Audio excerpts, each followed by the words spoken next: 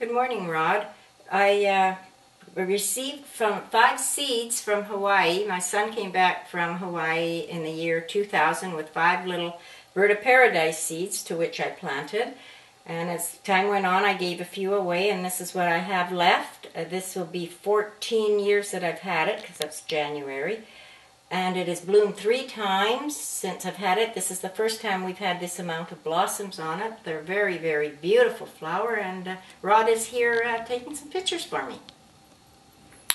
So they're blooming just now? Like, is this a prime they bloom time whenever they feel like it. Actually, uh, from what I can gather, in nature they'll bloom twice a year. okay Uh, these are in an environment that I'm even surprised they're still growing Yeah. because I have no idea how I'm supposed to grow them or look after them. They Yeah. just do what they do. yeah they are a tropical plant Yes. I, I checked yes. on YouTube and um, so uh, it's pretty nice to see these Well, I put it outside in the summertime if it's if it's not windy. Mm-hmm. I'll put them outside in a sheltered area. right okay So well thank you you're welcome. This plant is uh, called bird of paradise. Latin name is Strelitzia reginae. It is a cousin to the banana plant in South Africa. Uh, surprisingly, these plants are easier to grow than many tropical plants.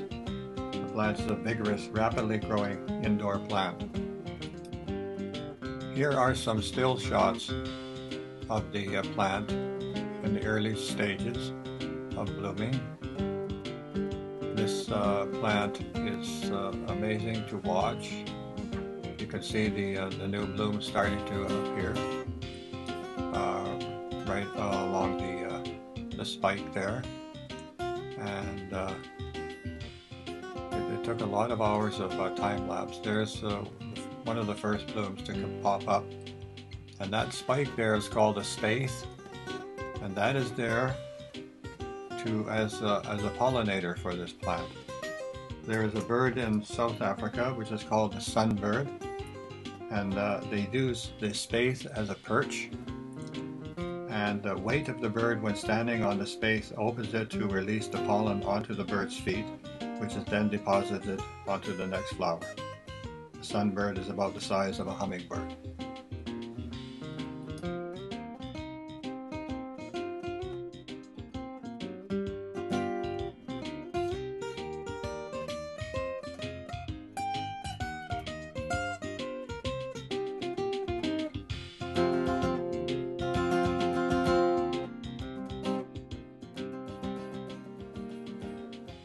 You can see there there is two spathes which look like arrows, the dark uh, colored ones, and uh, that's the perch that the bird will sit on.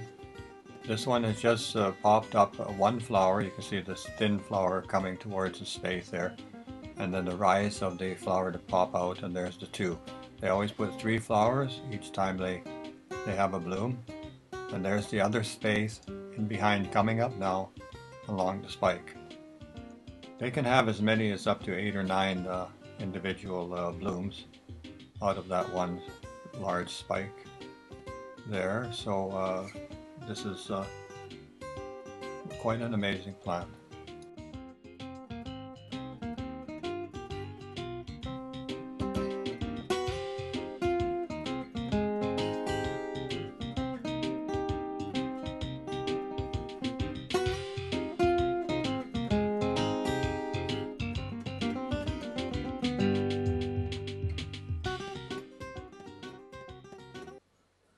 This is showing the, the time lapse again of the flower starting to rise out of that uh, the spike.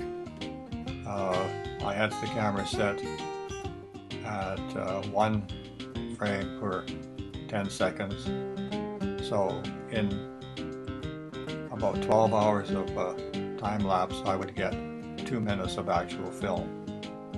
So it's a pretty uh, long uh, process that we had to go through.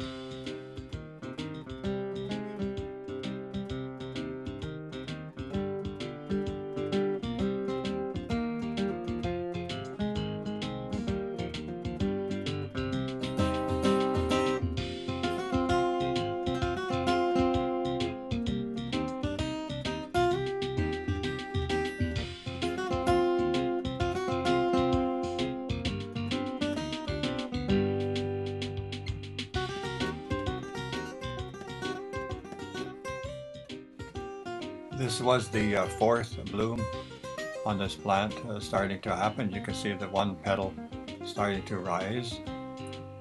And uh, it will pop up here in a few seconds. And the other petal two petals starting to come up underneath it. And uh, what happened here? There it goes. Then the two petals. And then the spathe right there behind them so that's four spathes there now which is four blooms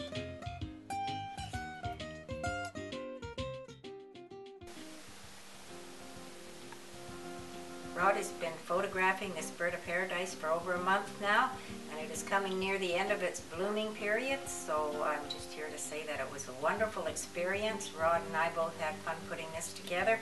It was fun, it was interesting, it was educational, and really, really joy to watch. And I think we both learned a lot from the blooming of this plant and a little bit of research to uh, get some information on it. So I thank you very much, Louise. You're welcome. I'm so happy that you phoned me uh, to come and, and have a look at this and go through this experience.